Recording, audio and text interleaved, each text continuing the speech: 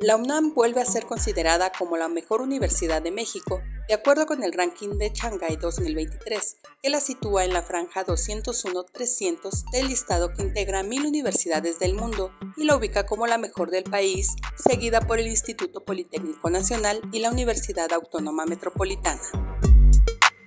La ONU apoyará las escuelas clandestinas para niñas en Afganistán y financiará la educación por Internet para aquellas que son obligadas por el régimen talibán a abandonar el sistema educativo después de la primaria. Edson Álvarez ya entrena con el West Ham. El equipo londinense comparte un video de la primera práctica del zaguero mexicano, quien se alista para estrenarse en la Premier League bajo las órdenes de David Moyes. Se espera pueda haber minutos de acción en el duelo ante el Chelsea el próximo domingo. Argelia prohíbe Barbie a casi un mes de su estreno. Ni el Ministerio de Cultura y las Artes ni la Autoridad Reguladora Audiovisual de Argelia dan argumentos sobre esta medida que se produce después de que en Kuwait y Líbano se retirara por supuestamente amenazar los valores conservadores.